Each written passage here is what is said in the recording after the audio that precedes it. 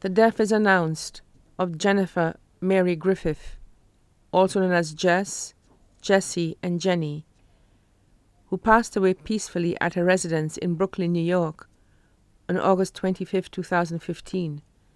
Jennifer was born in Castries, St. Lucia on January 25, 1950.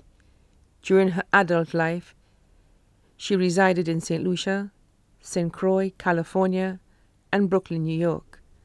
Left to mourn are her many sisters, brothers, aunts, nephews, nieces, cousins, one grandchild, the KCNG ambassadors, and other relatives and friends in St. Lucia, Martinique, St. Croix, Antigua, Virgin Gorda, France, England, Florida, and other places in the United States.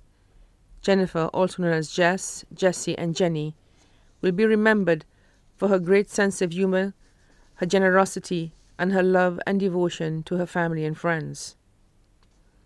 The family of the late Jennifer Mary Griffith, also known as Jess, Jessie, and Jenny, would like to extend their heartfelt thanks and appreciation to the KCNG ambassadors and the many relatives and friends who have so kindly assisted and offered their condolences during their bereavement.